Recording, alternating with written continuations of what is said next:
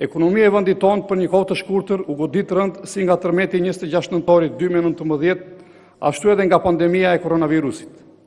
Emitimi i eurobondit në madhësi deri në 650 milion euro duhet të shërbejë për pakësimin e efekteve të këtyre fenomeneve dhe rimëkëmbjen e ekonomisë së vendit.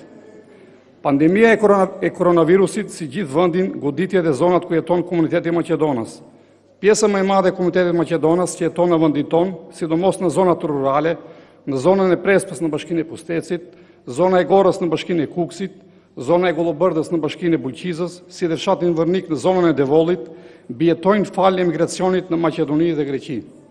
Shkalla e papunësisë në këto zona përpara pandemisë së koronavirusit paraqitej më e lartë se mesatarja e papunësisë në vendin tonë. Mbyllja e kufijve vështirësoi jetën e komunitetit maqedonas. Pjesëtarët e komunitetit maqedonas që jetojnë në zonat kufitare me Maqedoninë, mezi presin vendimin e qeverisë së Maqedonisë për hapjen e kufirit, pasi qeveria e Shqipërisë e bëri këtë më një qershor, me qëllim të punojnë si punëtorë sezonalë në Maqedoni.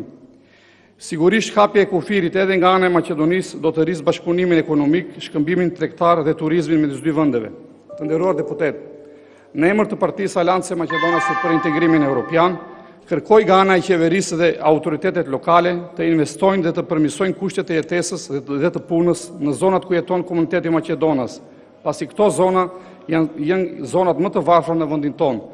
të lëna pas dore nga të gjithë qeveritë në 30 vitet e fundit, pa infrastrukturën e nevojshme rrugore, ujësjellësa, kanalizime, shërbime shëndetësore, energjinë elektrike etj. Ju faleminderit.